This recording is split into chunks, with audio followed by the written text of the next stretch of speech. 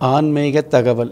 இன்றைய பகுதியில் அமாவாசை திதி என்று அசைவம் சாப்பிடலாமா அப்படிங்கிற விஷயத்தை எடுத்துக்கிட்டோம் அப்படின்னா பொதுவாகவே சைவமோ அசைவமோ எந்த நாளாக இருந்தால் எந்த நாளாக இருந்தாலும் சாப்பிடலாம் அப்படிங்கிற ஒரு சூழ்நிலை இருந்தால் கூட அமாவாசை போன்ற முக்கியமான திதிகளில் அல்லது பௌர்ணமி போன்ற முக்கியமான திதிகளில் அசைவ உணவுகளை தவிர்த்துக்கிட்டீங்க அப்படின்னா பிற்காலங்களில் அதாவது இந்த வயசு அப்படிங்கிறத விட உங்களுடைய காலம் போன கடைசி வயசுகளில் ஏற்படக்கூடிய உடல் அசௌ அசௌகரியங்களிலிருந்து நீங்கள் தற்காத்துக்க முடியும்.